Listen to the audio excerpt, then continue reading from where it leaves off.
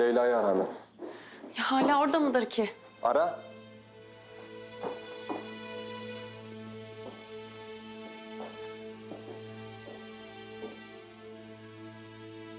Alo? Alo Leyla. Alev orada mı? Hayır canım çıktı biraz önce. Yalnız Zehra. Alev buradayken Sevim abla geldi. Annem mi geldi? Evet. Leyla karşılaştılar deme sakın. Yok yok. Alev biri aradı. Telefonuna bakınca da karşılaşmadılar. Ama az kalsın karşılaşıyorlardı.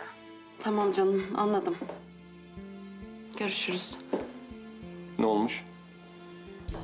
Alev Leyla'dayken annem de oraya gitmiş. Karşılaşmışlar mı? Yok Leyla annemiş karşılaşmamışlar. Yok. Bu iş böyle olmayacak. Şimdi hemen Leyla'yı arıyorsun ve mahalleden taşınmasını söylüyorsun.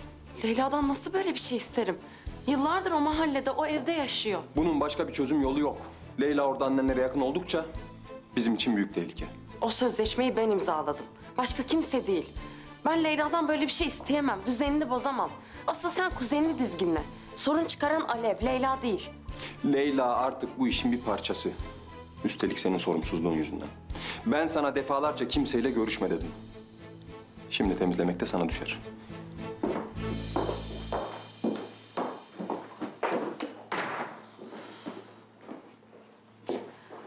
Leyla'dan böyle bir şey nasıl isterim?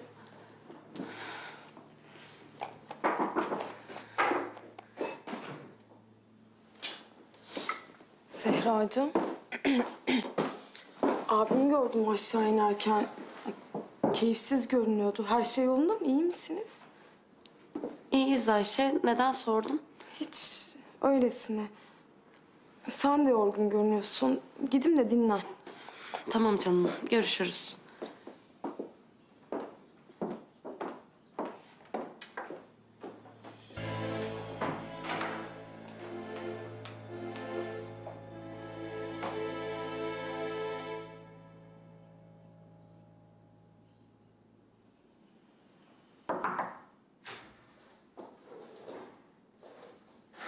Şu saate kadar neredesin Ali?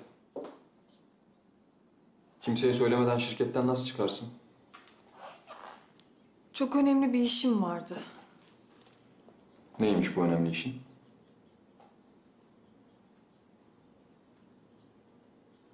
Kimseye söyleyemeyeceğin kadar önemli ne işin olabilir? İhale ile ilgili. Bu bir bahane değil. Şirketin kuralları var. Öyle başına buyruk hareket edemezsin. Bu senin için de geçerli. İstediğin zaman çıkıp gidemezsin. Haksızlık ediyorsun Ömer. Ben seni bunun için rahatsız etmek istemedim. Yeterince meşgulsün zaten. İhale ile ilgileniyordum. Öyle mi? Peki biz bu finans toplantısını bu ihale için yapmadık mı? Hı?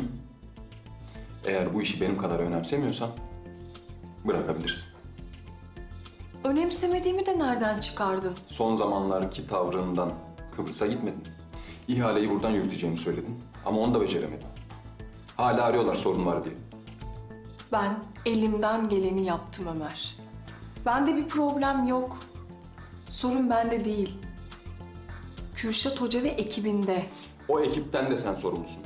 Yaptıkları her şeyi takip etmek zorundasın. Ama sürekli dışarıdasın. Nasıl olacak? Ben Sözüm daha bitmedi Alev. Bu ihalenin her aşamasını sana teslim ettim.